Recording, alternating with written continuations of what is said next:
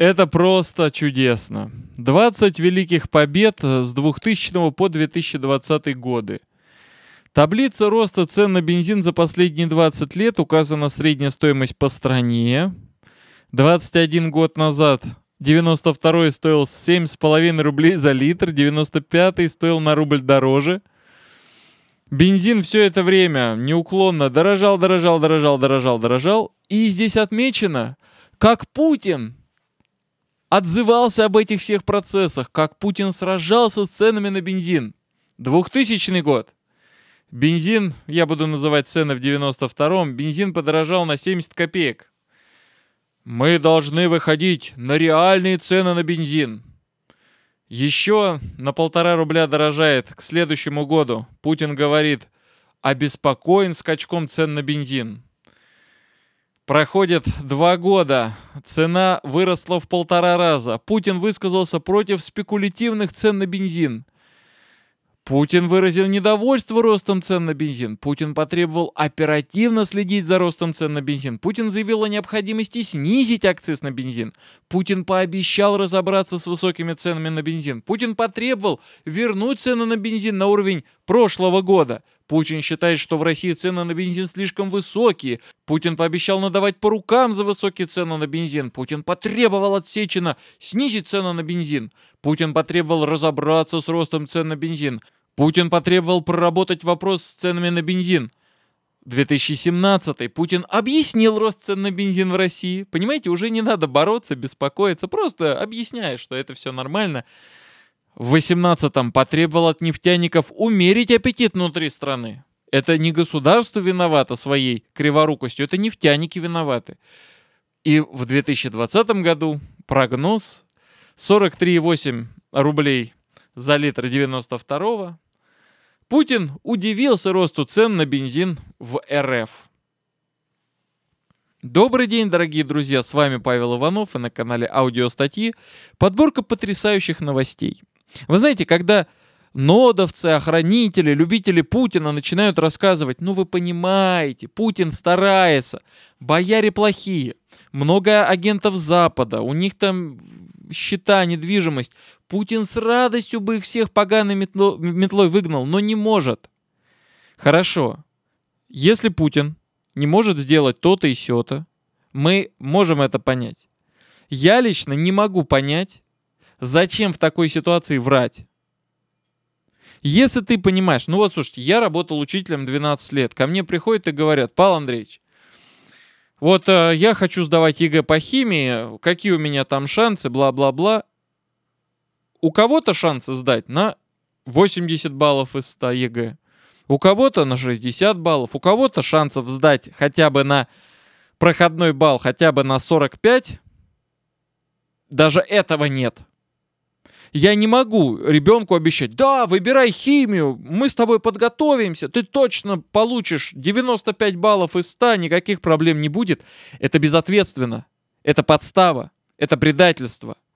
Не может серьезный человек, который хоть чем-то руководит, хоть чем-то, он не может безответственные заявления делать. А Путину можно. 20 лет Путин кормит обещаниями. Мы обеспокоены, мы разберемся, мы снизим, мы требуем, мы призываем. Только всем плевать. Скажите, пожалуйста, зачем вам такой руководитель? Он врет всей стране в лицо.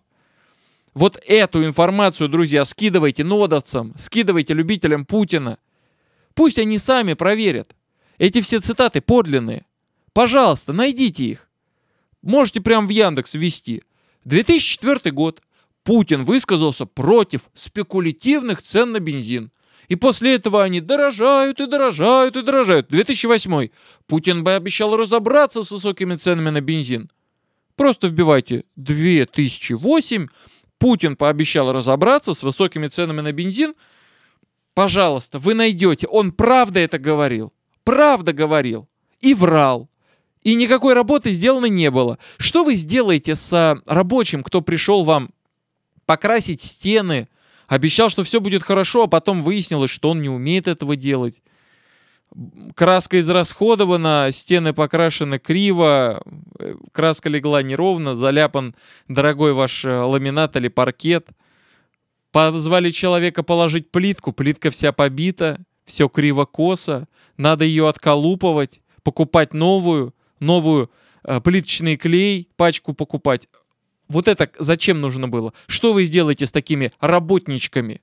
Поганой метлой таких надо гнать. Вот и к Путину мы так относимся. Только почему-то, когда здравомыслящие люди говорят Путина в отставку, их называют, нас, меня называют агенты Запада, предатели. Ребят, он нашу, вашу страну уничтожает. Вы говорите, что это мы какие-то агенты влияния. Нет, мы истинные патриоты. Мы истинные родители за благо нашего Отечества, за благо нашего народа и человечества в целом. Тем временем башкирский министр труда отжигает. Она объяснила рост безработицы пособиями и социальными выплатами. Типа раз государство помогает людям какие-то денежки раздает, пособия и выплаты социальные, копейки на самом деле, то вот из-за этого люди работать не хотят. Министр семьи, труда и соцзащиты населения Башкирии Ленара Иванова. Господи, как мне стыдно встречать свою фамилию среди чиновников, депутатов, всяких пропагандистов. Сегодня на совещании в региональном правительстве заявила, что в прошлом году на регистрируемом рынке труда безработица выросла в 5 раз. Как следует из доклада Минтруда Башкирии, если по состоянию на 1 января прошлого года в Башкирии был зарегистрировано 18,3 тысяч безработных, то по состоянию на 1 января 2021 года это количество составило 106,5 тысяч человек. Люди теряют работу. Людям нечего кушать, не на что кормить детей, покупать лекарства, не говоря уж о каком-то отдыхе. Причина роста безработицы, по словам госпожи Ивановой, стало повышение размера пособий, а также возможность получать безработному, имеющему несовершеннолетних детей, специальные доплаты в размере 3000 рублей. Ну, то есть, если ты не работаешь и получаешь 3000 рублей, то тебе этого хватит. Она вообще на какие деньги живет? Интересно, сколько у нее зарплата? возможность получать дополнительные социальные выплаты безработным. Кроме того, как считает министр, на рост повлиял тот факт, что граждане, не выходя из дома, могли зарегистрироваться, в качестве безработных. Фактически она имеет в виду, что люди и были безработными, но только сейчас об, упростилась процедура регистрации. То есть те люди, кто долго не может найти работу, они понимают, а, окей, мне нужно потратить там несколько дней, идти в этот центр занятости, регистрироваться на бирже труда, проходить уни- унизительные беседы, процедуры и потом получить 500 рублей. Сейчас регистрироваться стало проще через интернет. Люди, кто не хотел терять времени, быстрее регистрируются. Ну и смысл в этом появился все-таки не 500 рублей, а несколько тысяч рублей. Разница ощутимая. То есть она даже не стыдясь говорит о том, что вообще-то у нас огромное число людей даже не хотят регистрироваться безработным. Настолько бесполезна система, которую она возглавляет. Она министр труда. Она отвечает за то, как вообще люди работают, регистрируются безработными, ищут работу. Есть ли вакансии, есть ли рабочие места, что там с бизнесом. Это ее прямая ответственность, прямая обязанность. И она вот беззастенчиво говорит, у нас-то все нормально, просто понимаете, ну как бы вот, ну как бы вот это люди плохие. Они решили сейчас пойти и нам статистику испортить. Какие наглецы. Пособие, пособие захотелось. 3000 рублей на детишек получить. Это вот просто лодыри, тунеядцы, алкаши, как говорил другой представитель Единой России. А вот суровая реальность. Мужчина, 73 года. Не где-то там. Это Москва. Москва, социально благополучная, с высокими пенсиями. Мужчина просто лег на рельсы в московском метро и таким образом покончил с собой. До конца я вам даже показывать не буду. Наших людей доводят до самоубийства. И продолжают рассказывать, что мы там работать не хотим или что-то. Как это комментировать? Что это за беспредел? Кто за это ответит? Рано или поздно они за все ответят россияне, русские люди и татары, и казахи, и башкиры, и все, кто живет э, в нашей стране, говорит на русском языке. Если вы почитаете любые комментарии, любые статьи, все сходятся в одном. Мы вот это вот все так просто не забудем. Мы вот это все на тормозах не спустим и не простим. Как только громыхнет, как только будет повод, и не какая-то узкая кучка людей, а когда широкие народные массы вы, вывалят на улицы, еще и росгвардейцы и полицейские переобуду, переобуются присоединяться к гневной толпе, движуха будет страшная. И никто ноги не унесет. Просто не успеют. Это будет нереально. Они и потеряют все, и страну ввергнут в хаос. И мы будем под угрозой развала. И всего этого хочет не народ. Всего этого добивается администрация президента, Единая Россия, как и другие партии-спойлеры. Ну и, естественно, чиновники региональные и федеральные.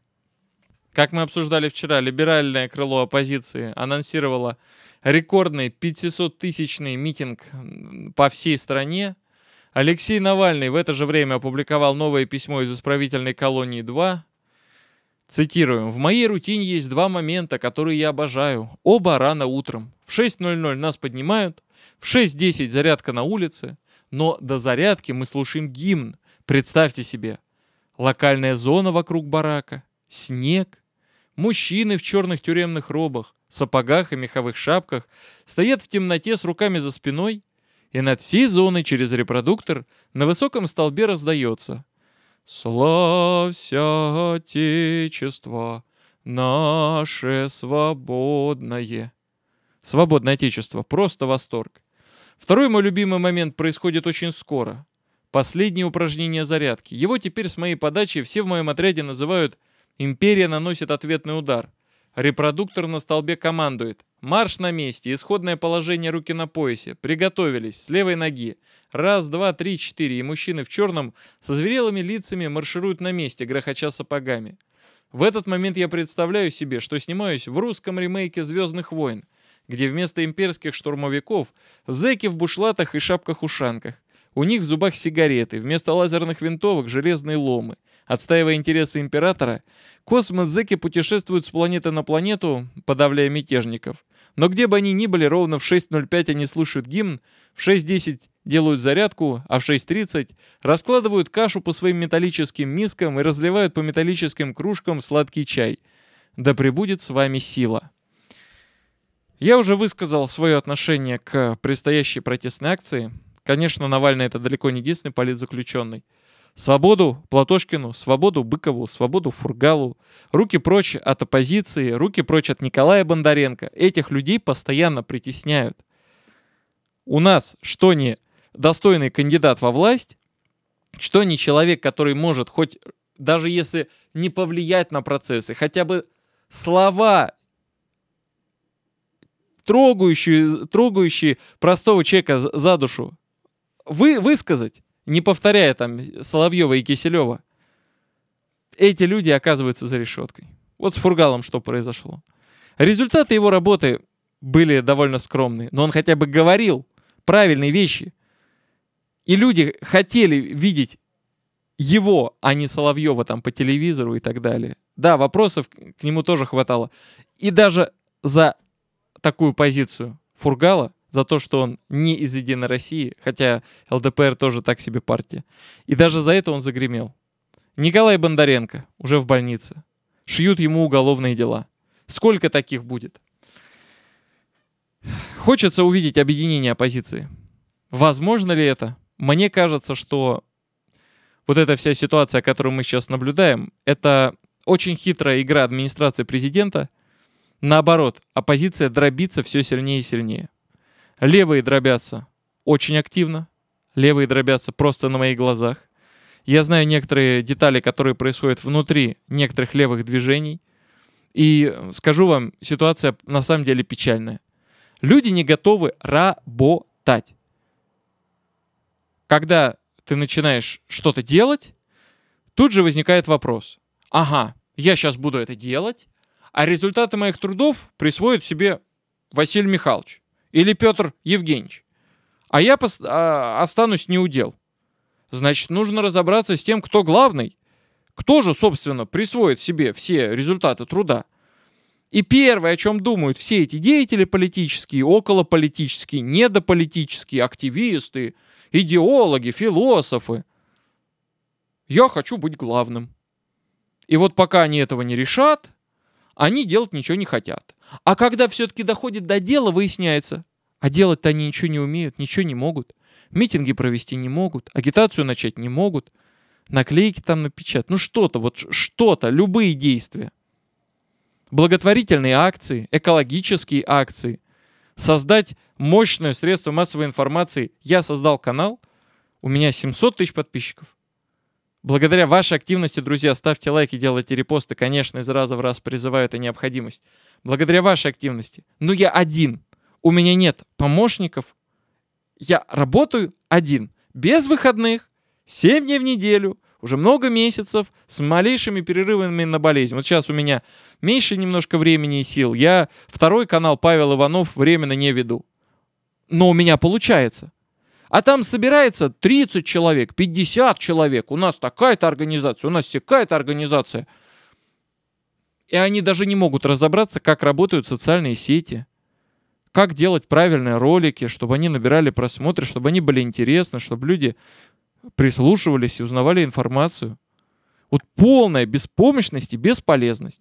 Молодежь, которая могла бы это осуществлять, в большинстве своем думает, как бы свалить из страны, потому что либеральная пропаганда работает.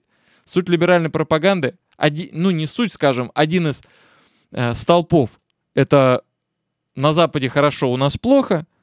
Зачем работать здесь? Простой вывод рождается. Зачем здесь вкладывать усилия, если можно просто уехать туда? Вот и все. Так мы и остаемся у разбитого корыта. Друзья, вместе мы сила. Молодежь призываю не уезжать. Людей в возрасте, у кого есть время, у кого есть сила, вступайте в движение, вступайте в организации, требуйте действий. Действий, не слов, не концепций, не проектов, планов.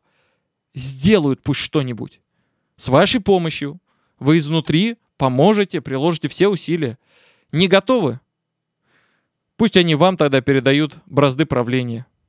И вы находясь во главе той или иной маленькой партийной ячейки или создав свою ячейку, принимайте в этом участие.